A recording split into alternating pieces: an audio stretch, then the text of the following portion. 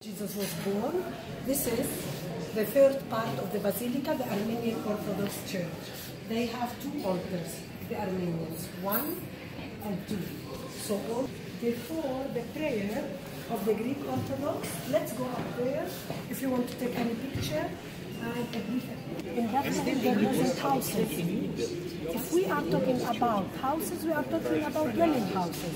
Everybody used to live inside these natural caves or grottos with their animals, and not only shepherds with their flocks. So there is, yes, while you are visiting Holy Land, you're going to hear sometimes about let's visit a cave or let's visit a grotto. Grotto or a cave for us it sounds like the same thing, yes?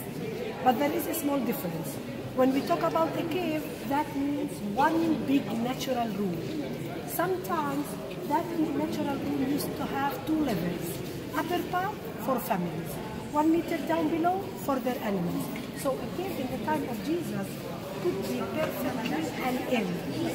When we talk about a grotto, that means several rooms connected one to the other. When they used to be long grottos, 10, 12, 15 meters, people used to come inside with their animals, walk through to the far into the last room, leaving the animals always in the back, and they use the front room for the fresh air.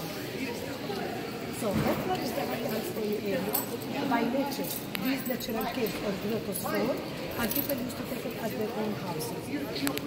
This is a cave, a natural cave. This church in the world that's still active. Russia, 18th century. These are pure silver and gold.